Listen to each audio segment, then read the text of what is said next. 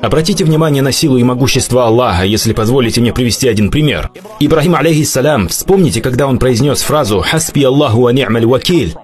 Откуда она появилась? Когда визири Немрода поместили Ибрахима алейхиссалям на катапульту и уже готовы были запустить в огонь, они рассчитали все так, чтобы между ним и огнем расстояние составляло всего несколько секунд полета. И вот они уже обрезали пусковую веревку катапульты, и он оказывается в воздухе, как вдруг ему явился ангел и спросил, «Ибрагим, чем я тебе могу помочь?» Все произошло в одно мгновение. Он спросил ангела, «Ты сам пришел или по указанию Аллаха?» Их разговор происходит в какие-то считанные секунды. Тот отвечает, «Я сам. Я пришел сам. Аллах не давал мне указаний».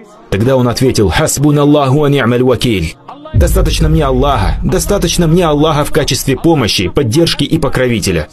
Клянусь Аллахом, прямо перед тем, как упасть в огонь, Аллах говорит, «О огонь, стань прохладой!» И как только Ибрагим попадает в него, огонь становится прохладным. Оказавшись в огне, все веревки на нем сгорают, но его одежда сохраняется. Ни единый волос на теле Ибрагима не сгорает в огне. Он начинает ощущать прохладу, и Аллах говорит «прохлада и спасение». Тут от огня начинает веять еще большей прохладой, и Ибрагим чувствует себя в полной безопасности. Придет время, и кто-то спросит Ибрагима, «Расскажи нам о своем самом приятном моменте в жизни», на что он, задумавшись, ответит, «Хм, пожалуй, это был огонь». Огонь? Огонь, Аллаху Акбар.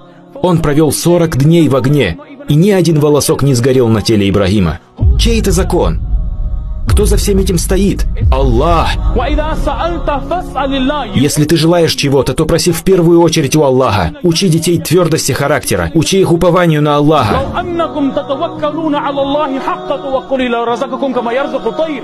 Пророк, саллаллаху алейхи вассалям, говорит, если вы хотите научиться уповать на Аллаха, согласно тому, как этого желает сам Аллах, субханаху ва та'аля, Аллах наделит вас уделом равно, как Он наделяет пропитанием птиц. Вам не придется беспокоиться запасами, состоянием ваших банковских счетов, сбережений и инвестиционных вкладов. Аллах говорит, они улетают утром с пустым брюшком и вечером возвращаются с полным. В этом и есть обещание Аллаха.